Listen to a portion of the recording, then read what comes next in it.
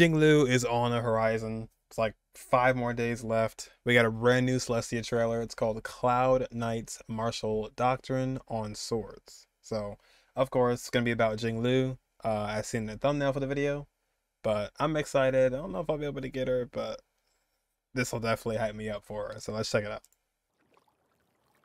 Traveling with you has stirred up my curiosity.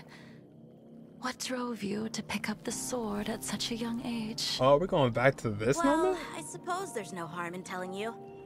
At first, it was the general's stories about the previous sword champion. He told me about her unparalleled skills, her unmatched prowess with a single blade. It inspired me that one day I could earn the title myself. so, it was the allure of renown.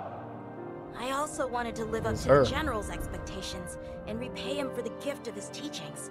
Where would I be without him? Then you wish to forge deeper ties. It's more than that. One day, I'll run into battle alongside my Cloud Knight comrades, defending the Luofu and striking down those who threaten us, putting my abilities to their rightful use. Yanqing has like the will. In the end, it all comes back to fealty. His will is so What's grand. with all the questions, miss? Why did you choose the path of the sword?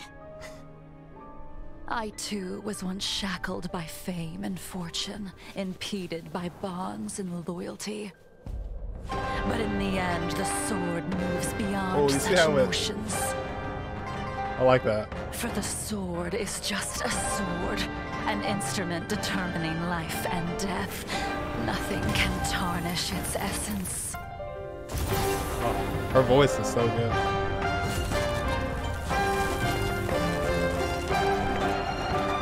Only when you've walked the fiery trail and cut through every impediment can you understand the purpose behind every swing of your sword. Mm. Dang, look at that. Sheesh. Do you understand now, future sword champion? I wield the sword to vanquish my enemies. Nothing more. and now, our battle begins. Yanqing, you don't stand a chance, buddy. I'm sorry. I love this moment right here where the letterbox actually gets removed when she opens her eyes, just to show how powerful that moment is whenever her blindfold is removed. Because you know, obviously, if you've played the game and uh, you know know a little about a little bit about the story, you can always tell that's kind of a big moment when that happens.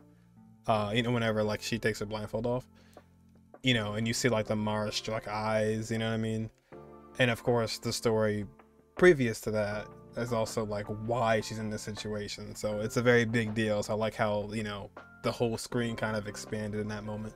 But anywho, I love how this trailer was made because it's honestly very simple. You know what I mean? It's literally just I don't know if it's like actually going back to that moment, but there was a moment where Yanqing uh, was just kind of like walking around with Jingliu or Jingliu, and um, I kind of like how we kind of just came back to that moment for a second, and we're basically just having a conversation, right? You know, so just having a conversation, asking questions. Why did you want to be, you know, a sword wielder? Why did you want to be a fighter? Yanqing answers his side, and then she answers her side, and then Yanqing's like, "Oh, okay." It starts to like he gets like the you know all nervous, starts sweating. So, and then uh, apparently the duel is gonna happen at some point. So I can't wait for that. Uh, that'll that should be in 1.4 in about five days. Her band will be out. New patch will be out. But yeah, very interesting character, and I love the cinematography with the moon and all of her shots. You know, and of course with her being ice, it only makes sense. I love the High Cloud Quintet in terms of from where they started to where they are now, but they're all still here for the most part. I think except one, but they're all still here. They just went through all these drastic changes. So to see them all together again, or if we do see them all together again, it, will just be really weird this time, you know. So, anywho, like I said, uh, what did you guys think about it? Let me know in the comments. But that'll do it all for me, and hopefully I can get Jingliu in, uh, in about five days. But with that being said, I'll catch you guys in the next one.